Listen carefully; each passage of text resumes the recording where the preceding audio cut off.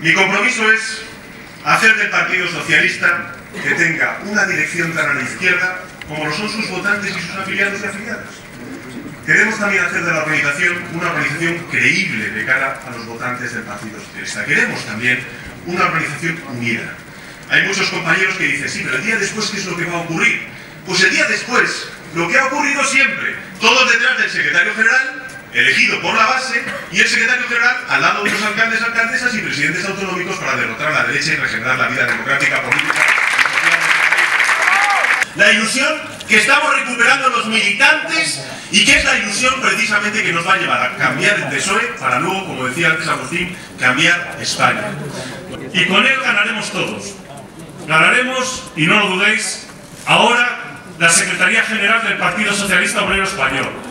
Y después, cuando toque, ganaremos el gobierno de España. Lo ganaremos, porque es el candidato más idóneo, el que más credibilidad va a poder ofrecer a todos los votantes de este país. Y por desgracia, en este partido han pasado cosas muy graves, muy graves, que nos han hecho a muchos de nosotros, a muchas de nosotras, poner en duda si realmente el partido es ese instrumento para cambiar la sociedad, es ese instrumento para hacer sociedades más justas, más iguales, más libres. Si quienes nos antecedieron en nuestro trabajo, si las generaciones anteriores de socialistas que hubieran pensado de un partido que ha dejado que hoy gobierne la derecha en este país, no podemos permitir que nos hayan quitado el orgullo de ser socialistas. Gracias, Pedro, por hacernos vibrar de nuevo cuando entonamos o escuchamos la internacional. Somos socialistas.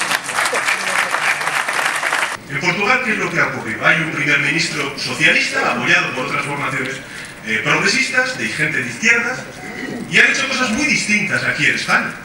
En Portugal hay un primer ministro socialista que ha aprobado unos presupuestos. Aquí en Rajoy todavía no los ha, no los ha aprobado. Por cierto, por cierto, anda que como llegue a aprobar los presupuestos Rajoy con 176 diputados, se va a ver la inutilidad de habernos accedido.